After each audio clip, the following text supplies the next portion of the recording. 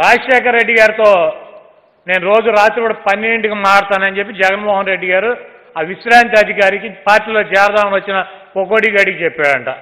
ఆ పొకోడి గడి వెళ్ళి ఈ పొకోడి గడికి చెప్పాడు. ఇట్ట ఇట్ట చెప్పాడని. జగన్మోహన్ రెడ్డి గారి దగ్గర నూట యాభై ఒక్క మంది ఎమ్మెల్యేలు ఉన్నాం. ఇరవై రెండు మంది ఎంపీలు ఉన్నాం. పది సంవత్సరాల నుంచి ఆయనతో పాటు కలిసి కొన్ని వేల మంది రోజు ప్రయాణం చేస్తా ఉన్నాం మాకు చెప్పలే జగన్మోహన్ రెడ్డి గారు? నేను దేవుడితో మాట్లాడాను జీసస్తో కరోనా పెద్ద వ్యాధి కాదని చెప్పి చెప్పాడని చెప్పి ఇప్పుడు ఉన్నటువంటి అధికారులకి ఎవరితో మాట్లాడలా? మాతో చెప్పలా? రాజశేఖర రెడ్డి గారితో నేను మాట్లాడతాను మాతో ఎవరితో చెప్పలా?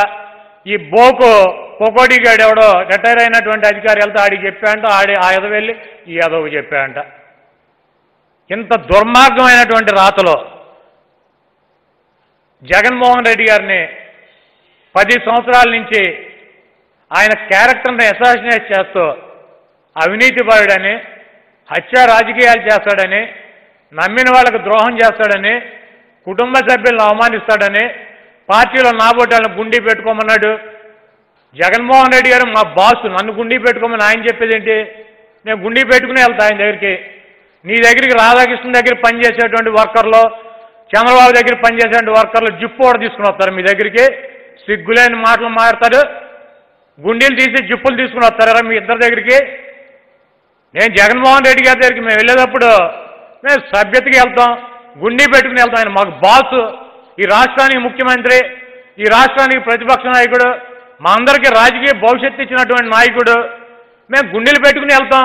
ఆయన తీసుకురమ్మన్నా కూడా తీసుకెళ్ళాం జగన్మోహన్ రెడ్డి ఆడిని పిలిచి గుండీ పెట్టుకోమన్నాడు ఈయన్ని పిలిచి చొక్కా మడత పెట్టుకోమన్నాడు ఈ చిల్లర రాతలో.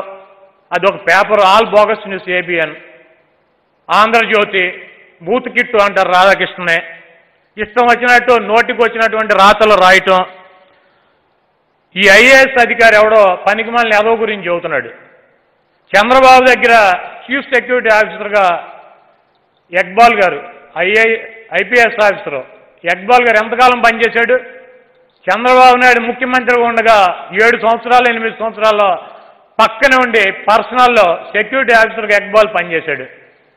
ఆయన అధికారంలో ఉండగానే తెలుగుదేశం పార్టీ అధికారంలో ఉండగానే రిటైర్ అవగానే షరతులేమీ లేకుండా ఇటువంటి చంద్రబాబు లాంటి ఎదవల దగ్గర నేను పని చేయనని చెప్పి జగన్మోహన్ రెడ్డి గారు పాదయాత్రలో ఉంటే కండిషన్స్ ఏమీ లేకుండా వైఎస్ఆర్ కాంగ్రెస్ పార్టీలో చేరి నీ బావమారిది బాలకృష్ణ మీద పోటీ చేసి రెండోసారి కూడా ఎమ్మెల్సీ అయ్యి జగన్మోహన్ రెడ్డి గారి దగ్గర సురక్షితంగా ఉన్నటువంటి వ్యక్తి అక్బాల్ గారు. అంటే నీ దగ్గర పనిచేసినటువంటి చీఫ్ సెక్యూరిటీ ఆఫీసరు నీ పార్టీలో చేరకుండా నువ్వు అధికారంలో ఉండగా పక్క పార్టీలో చేరాడంటే మీరు ఎంత ఎదవలో మీరు రాత్రిపూట పన్నెండింటికి శ్మశానంలో కూర్చునే క్షుద్ర పూజలు చేస్తా మీరు ఏం చేస్తారో కూడా ఈ రాష్ట్ర ప్రజలు కానీ వీళ్ళందరూ కూడా గమనించేటువంటి పరిస్థితి ఉంది. జగన్మోహన్ రెడ్డి గారు ముందు రాజశేఖర రెడ్డి గారు. రెండు వేల తొమ్మిది ఎన్నికలు అయిపోయినాక ఆయన చనిపోయే నాటికి ఒక మహావృక్షంలాగా తయారయ్యాడు. ఆయన వేరు కాదు కదా చెట్టు కొమ్మను కూడా టచ్ చేయలేనటువంటి పరిస్థితిలోకి రాజశేఖర రెడ్డి గారు మహా వృక్షంగా వెళ్తే ఆ దేవుడు కూడా అసూయపడి రాజశేఖర రెడ్డి గారిని తీసుకుపోతే ఈ చంద్రబాబు నాయుడు ఈ రాధాకృష్ణ ఈ బిఆర్ నాయుడు ఈ రామోజీరావు ఇటువంటి వ్యక్తులు పండగ చేసుకున్నారు. ఒక మహావృక్షం కూలిపోయింది. ఈ రాష్ట్రంలో మనకు ఎదురు లేదు. చంద్రబాబు లాంటి ఆమరం మొక్కను దాన్ని పెట్టుకుని మనం విర్రవేగొచ్చు అని చెప్పి పగటి కళలకు అన్నారు. అయితే ఆ మహావృక్షంలో మిగిలిపోయినటువంటి చిన్న చిగురు జగన్మోహన్ రెడ్డి గారు ఆయన క్యారెక్టర్ని ఎంత అసాసినేషన్ చేసినా ఆయన ఎంత దిగజార్చాలని చెప్పి చూసినా ఎక్కడ కూడా ఆయన పట్టినటువంటి పట్టుని వదలకుండా తండ్రి చూపించినటువంటి దారిలో నడిచి పదహారు నెలలు జైల్లో పెట్టినా కూడా వెనక్కి తిరిగి చూడకుండా రాజశేఖర్ రెడ్డి గారిని మించినటువంటి మహావృక్షంగా ఈరోజు జగన్మోహన్ రెడ్డి గారు తయారైతే ఆయన్ని కదిలించలేక ఒక ఆకు కూడా పేకలేనటువంటి ఈ దుర్మార్గులు. ఈరోజు జగన్మోహన్ రెడ్డి గారి మీద విషం కక్కాలి. జగన్మోహన్ రెడ్డి గారి క్యారెక్టర్ని అసాసినేషన్ చేయాలి.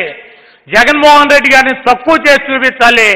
ఈ పనికి మాలినటువంటి ఈ చంద్రబాబు లాంటి వెధవలను తీసుకొచ్చి ముఖ్యమంత్రి స్థానంలో కూర్చోబెట్టి ఈ రాష్ట్రాన్ని నిలువున దోచుకోవాలని చెప్పి ఈ ఆంధ్రజ్యోతి కానీ ఈ ఏబిఎన్ కానీ టీవీ ఫైవ్ కానీ ఈనాడు కానీ ఈ దుర్మార్గులందరూ కలిసి ఒక కులాన్ని రెచ్చగొడుతూ ఒక వర్గాన్ని రెచ్చగొడుతూ జగన్మోహన్ రెడ్డి గారి మీద నిందలు వేస్తూ ఈరోజు పబ్బం గడుపుకోవాలని చూస్తున్నటువంటి ఈ దుర్మార్గులందరూ కూడా ఒకటే హెచ్చరిక చేస్తున్నాం.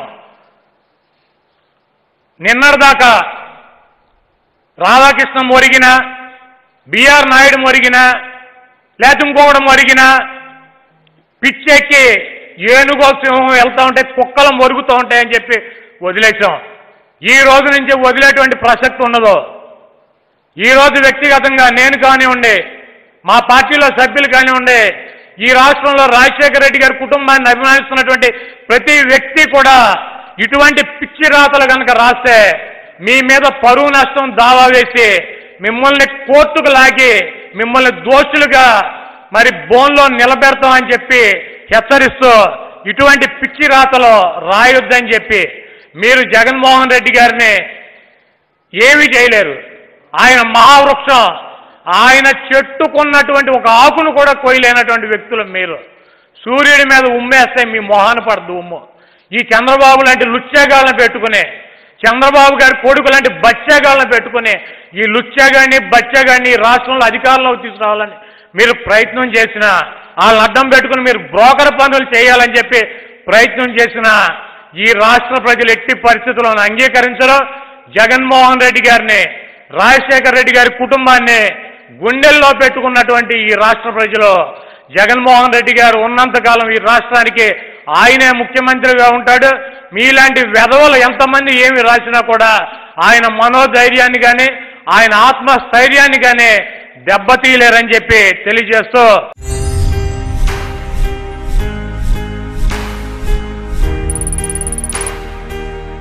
you